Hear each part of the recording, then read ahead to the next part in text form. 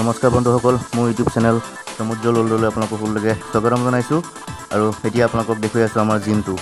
আমাৰ জিমটো বুঢ়াচালিত অৱস্থিত আছে আৰু মাচলছ এণ্ড ফিটনেছ জিম বুলি গতিকে আহক এতিয়া আমি ওপৰত আমাৰ জিমলৈ যাওঁ। এয়া আহি আছোঁ জিম লিখা আছে দেখিছেনে? ফাৰ্ষ্ট ফ্ল'ৰ আহিলোঁ ছেকেণ্ড ফ্ল'ৰত মানুহ নাই মানুহ তিনিটা মানুহ আছে গতিকে ব'লক চাওঁ জিমটো। হয় নমস্কাৰ বন্ধুসকল। মই আছোঁ আজি আমাৰ বৰুৱা চাৰিআলি জিমত গতিকে মাস্কখন মাৰি থকাৰ কাৰণে অকণমান কথাবিলাক অস্পষ্ট হ'ব পাৰে। তথাপিতো মাস্ক নামাৰিলে অকণমান দিগদাৰ হয় এক্সাৰচাইজ কৰিবলৈ। তো আজি কৰোণা ভাইৰাছৰ দিনত মানুহটো নায়েই তেনেকৈ জিমত। গতিকে আহ, আহিছোঁ আজি জিমলৈ মানুহ কম যদিও। আৰু কেনেকৈ কিদৰে এক্সাৰচাইজ কৰিব লাগে সেইখিনি আপোনালোকক দেখুৱাম। আৰু আমাৰ জিমৰ যোনজন অ'নাৰ ৰবি আছে তেওঁৰ পৰা আমি দুটা কথা জানিবলৈ চেষ্টা কৰিম। গতিকে ব'লক আমি ৱৰ্কআউট বা এক্সাৰচাইজটো আমি আৰম্ভ কৰোঁ আৰু ৰবিৰ লগতো দুটা কথা পাতোঁ। তো লেটছ গ' এয়া সম্পূৰ্ণ আমাৰ ক'ভিড বিধি মানি ছ'চিয়েল ডিষ্টেঞ্চিং মেইনটেইন কৰি পেলাই ৱৰ্কআউট কৰি থকা হৈছে এয়া দেখিছে। সকলোৱে এনজয় কৰি আছোঁ ৱৰ্কআউট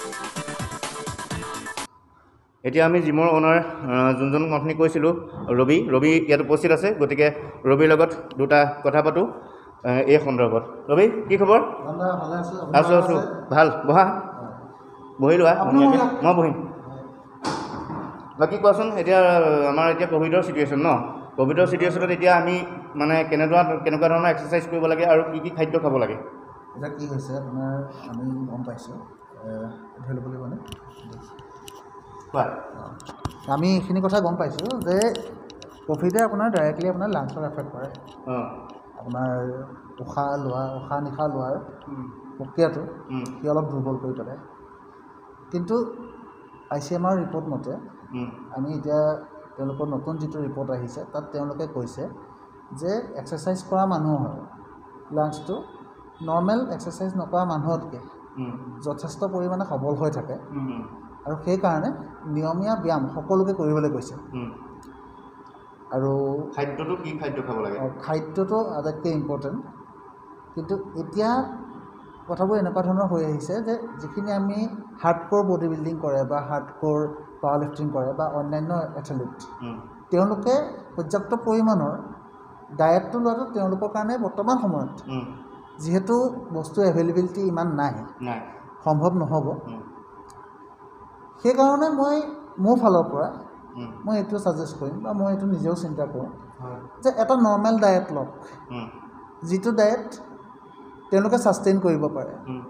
সাধাৰণতে কি হয় যিখিনি জিম কৰা ল'ৰা বা জিম কৰা ছোৱালী।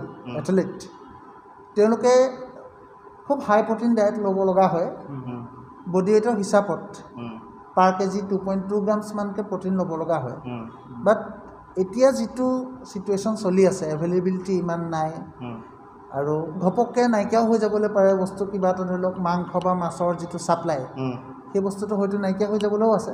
কিন্তু ইন ডেট চিনেৰিঅ' মই এটা নৰ্মেল ডায়েট ছাজেষ্ট কৰিম যিকেইটা বস্তু আপুনি সাধাৰণতে সুলভ হৈ থাকে মাৰ্কেটত কেনেকুৱা ধৰণৰ বস্তু? যে ধৰি লওক ৰাতিপুৱা সময়ত আপুনি ৰুটি লৈছে বা অ'টছ লৈছে যিকোনো এটা আপোনাৰ কমপ্লেক্স কাৰ্বহাইড্ৰেট ৰাখক। ইমিউনিটি বুষ্ট কৰিবৰ কাৰণে আপুনি হালধি আৰু গাখীৰৰ এটা মিশ্ৰণ ল'ব পাৰে। সেইটো খুব ভাল। আমাৰ এইটো পুৰণি দিনৰ পৰাই চলি আহিছে। তাৰ লগতে আপুনি দুটা এগ লৈ লওক লেগছ লৈ লওক। মই এগ হোৱাইটৰ কথা বৰ্তমান নকওঁ। কাৰণ এগ হোৱাইটটো কমপ্লিটলি আপোনাৰ সৰহকৈ ল'ব লগা হয়। কিন্তু এগ কমপ্লিট যিটো এগ এগটোত আমাৰ বহুত ধৰণৰ ভিটামিন থাকে আৰু এইখিনি আপোনাৰ ইমিউনিটি বুষ্ট কৰাত সহায় কৰে। পৰ্যাপ্ত পৰিমাণত আপোনালোকে যিখিনি শাক ঘৰুৱা আমাৰ যিখিনি শাক মানিমুনি মাটিকাদুৰি ভেদাইলতা এই ধৰণৰ শাকখিনি আপোনালোকে খাবলৈ লওক।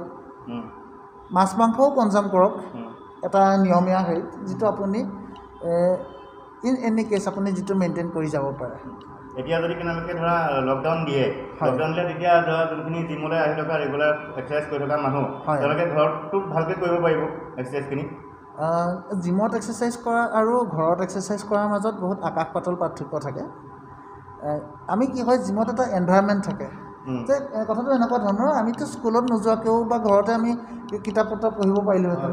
বা আমি ইউনিভাৰ্চিটিত নোযোৱাকৈও আমি দেখোন সেই ডিগ্ৰী ঘৰতে পঢ়ি ল'ব পাৰিলোহেঁতেন। কিন্তু কিয় যোৱা হয়? কাৰণ তাত এটা এনভাইৰমেণ্ট থাকে।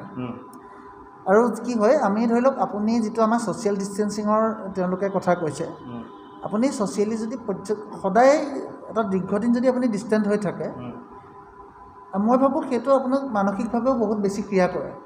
আপুনি জিমত ওলাই আহক নিজৰ পাঁচজন বন্ধুক লগ পাব। আপোনাৰ শৰীৰৰ লগতে আপোনাৰ মনো সুস্থ হ'ব। এই যিটো এনভাইৰমেণ্ট সেই এনভাইৰমেণ্টটো অকণমান ৰাইজে এনজয় কৰক। কাৰণ যিটো আমি দেখিবলৈ আহিছোঁ চাৰিওফালে আপোনাৰ দশো দিশে একদম ডিপ্ৰেছিং এটা এনভাইৰমেণ্ট হৈ গৈছে। মানুহৰ চিন্তা চৰ্চা বাঢ়ি আহিছে। কি ধৰণে চলিব কি খাব কি কৰিব ব্যৱসায় বন্ধ হৈছে মানুহৰ। সেই সময়ছোৱাত অত্যাধিক টেনশ্যন লৈ থকা অৱস্থাত যদি আপুনি এঘণ্টাও যদি আপুনি এটা ফ্ৰী মাইণ্ডত হাঁহি মাতি কটাব পাৰে এক্সাৰচাইজৰ লগতে হাঁহি মাতি থকাটো এটা বৰ ডাঙৰ কথা। আৰু এটা কথা সুধোঁ ৰবি এতিয়া ধৰা মানুহবিলাকে কয় এক্সাৰচাইজ কৰি থাকিলে মানুহৰ ক'ভিড হ'ব নোৱাৰে। কিন্তু কালি এটা বহুত দুখ খবৰ পালোঁ যে দেৱজিৎ গগৈ ডাঙৰীয়া আমাৰ মাজৰ পৰা ক'ভিড হৈ নাইকিয়া হৈ গৈছে। গতিকে সেই সন্দৰ্ভত তুমি কি ক'বা? তেখেত বৰ পজিটিভ মানুহ আছিলে। তেখেতক মই পাইছোঁ। কম্পিটিশ্যন সময়ত তেখেত যেতিয়া কম্পিটিশ্যন কৰি আছিলে তেখেতক পাইছোঁ। কথাটো এনেকুৱা ধৰণৰ যে এক্সাৰচাইজ কৰিলে যে ক'ভিড নহ'ব তেনেকুৱা ধৰণৰ কিন্তু কোনো কথা নাই। আপোনাৰ এনেকুৱা হ'ব পাৰে যে ধৰি লওক আপোনাৰ এটা শক্তিশালী মানুহ আপোনাৰ গাত শক্তি আছে আৰু সেইকাৰণে হয়তো আপুনি এজন দুৰ্বল মানুহতকৈ আপোনাৰ ইমিউনিটি অকণমান বেছি হ'ব পাৰে। খুব সোনকালে আপোনাক মানে এই খুব সোনকালে। আপোনাক সেই বেমাৰে কোৱা? অঁ অঁ, কি কৈ আছিলোঁ যে সেই খুব সোনকালে যে নৰ্মেল মানুহ এজনতকৈ যাৰ ইমিউনিটি কম আপোনাক হয়তো সেই বেমাৰে কোঙা কৰি পেলাব ইমান সোনকালে সহজে নোৱাৰিব।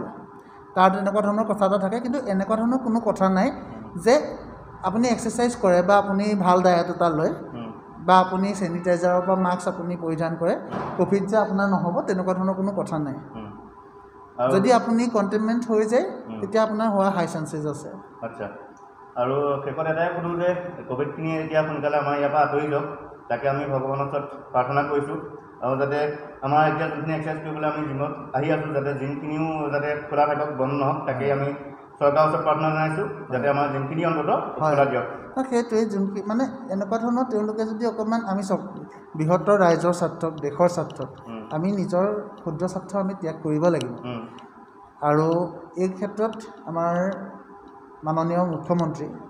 শ্ৰীযুত হেমন্ত বিশ্ব শৰ্মা ডাঙৰীয়াই যি ধৰণৰ পদক্ষেপ লৈছে খুবেই খুবেই শলাগ ল'বলগীয়া আৰু খুবেই প্ৰশংসনীয়। আজিলৈকে দুটা বজাত ৰাতি তিনিটা বজাত ৰাতি কোনোবা এজন চি এম হস্পিটেলত তেনেকৈ ওলোৱা আমি কোনোফালে আমি আমি নাই। কৰা নাই কাকো দেখা নাই।